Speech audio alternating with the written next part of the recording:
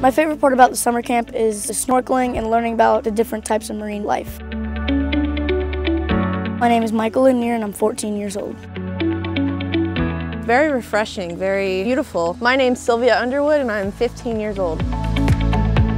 Coastal Camp Citrus this year is a four-day camp. We're going to do some water quality testing here at Three Sisters Springs. My name is Ernie Olson. I am the supervisor of the Marine Science Station with the Citrus County School District. The kids are learning about the freshwater resources that we have here in Citrus County as well as the estuary and marine resources that we have. It's all hands-on, immersive learning in their local environment. They're doing a variety of water quality testing. They are learning about the issues affecting these areas and what they can do on a daily basis at home to incorporate environmental stewardship in their daily lives. I've learned about how to test waters and find the clarity of them. My favorite part has been snorkeling. I've gotten to see all kinds of cool sea life. I've got to see blowfish. That's pretty cool.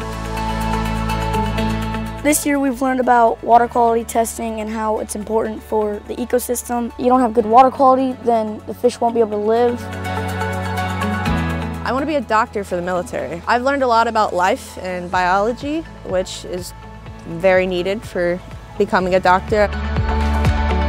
For many years, the Southwest Florida Water Management District has supported Coastal Camp Citrus at the Marine Science Station, as well as the Citrus County School District, funding our field trip programs to bring elementary, middle, and high school kids to the Marine Science Station uh, throughout the regular school year. And we wouldn't be able to do these programs without the help of the Water Management District, so we are grateful for that support.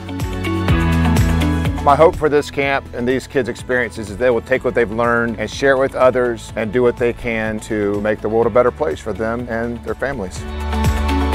I've had a blast. It's been absolutely amazing.